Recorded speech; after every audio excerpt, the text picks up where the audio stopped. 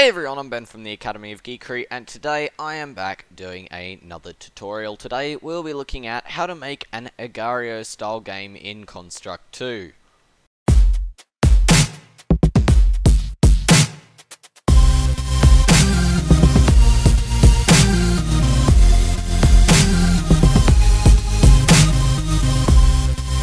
Okay guys, so the first thing we're going to do is go new project, new empty project, open, then in here we are going to click on our layout thing here and we are going to basically scale this down until we can get this to fit into the little lines you can see here because we don't want this massive layout like this, well at least not for now.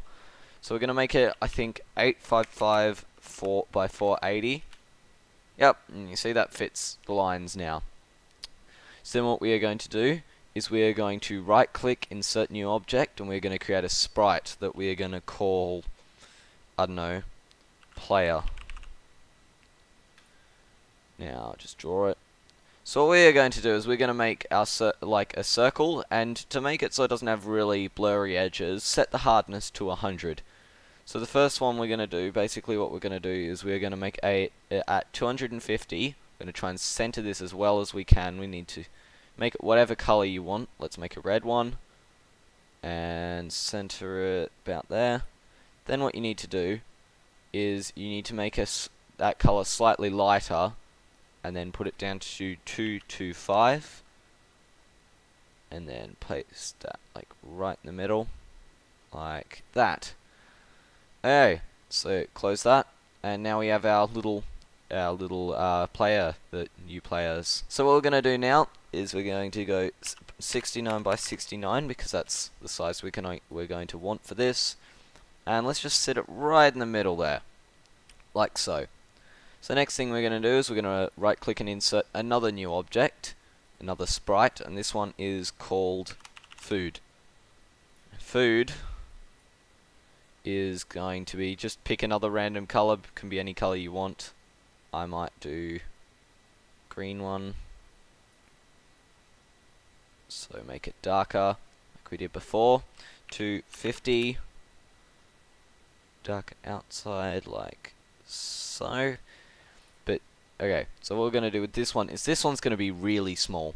The size of the food is only 32 by 32. Because if you just put it in perspective with the player, that's about the correct size there. So you just put this one wherever you want. Uh, we're going to be able to spawn other ones randomly in around the screen uh, later on. So the next thing, we're going to go into the event sheet. And in the event sheet, we're going to add an event from the system, which is the onload complete, or the on start of layout, if I can spot it there. Sometimes it seems to disappear, which is odd. Look at that. It's weird. On start of layout. And then what we are also going to do is we're going to right click and add a global variable ah, English please variable scale. And our scale is going to be first set to 0.2 okay? I'll, I'll tell you why we're making that later. So then what we're going to do is we're going to go add action. We're going to grab our little food guy. I actually no we're going to go to the system. We're going to go create object. And then we're going to get our food food, come on. And the same layer as food, and then in the X we're going to go random, then in here, 32, no, 32 by, and then what do we say, um, what do we say it was?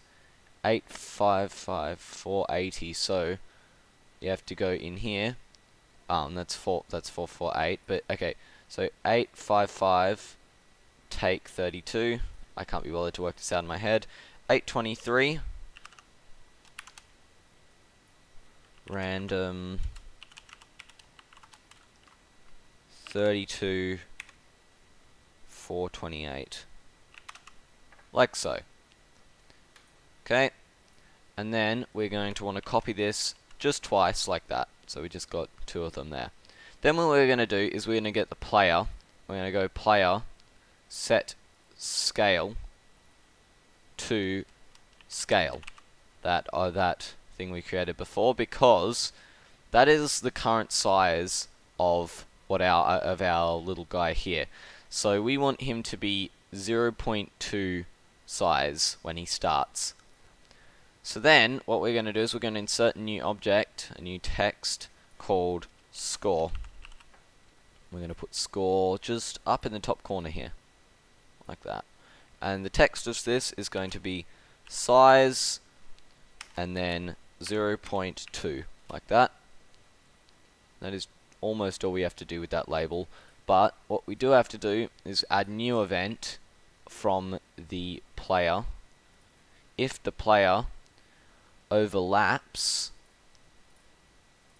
the food, okay, and in this action, what we are going to do is we are going to do food, then destroy, then another one, food, uh, no, actually system, dot, why did I say dot? You don't have to do dots in this. System, create a new object, and then we're going to make a new food. In fact, we don't even need to do this. We can just go and grab this and put it in here. So just grab one of those again, drag it down to the bottom here, and then what we're going to need is in here, we're going to need to go score, and then scores text, if I can find a set text there, size, colon, space, and, and then scale. Like that. So now, it'll update the score. So put that there. Okay. Now, what we want to do is we want to grab this player set to scale and we're going to want to copy that and paste that down into here as well. Like that. So actually I might put the destroy first. So now if we run our little game we still can't move and that is because we haven't added 8 direction just yet.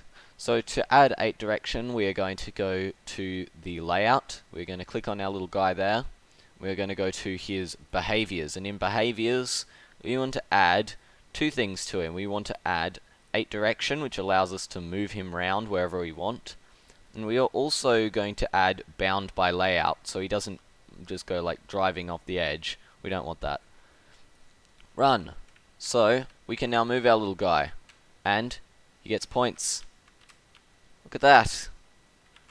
So, if we close this and get out of that, now we can go back into here. Now what we need to do is we need to get our little scale guy and we need to add a new action in here which is system then add to scale value 0.01 now we are going to pull this guy up to the top here now if we run this and full screen it and we go get one of these little balls here, look at our size. It goes, it goes up, and if you actually pay close attention, we are getting bigger. So that is actually the first part, the, the, well actually the main part of Agar.io. It's just the idea of just going around and eating these little things and growing. Hey guys, if you found this part 1 useful, make sure to leave a like, and if you want to see more, subscribe to the Academy of Geekery.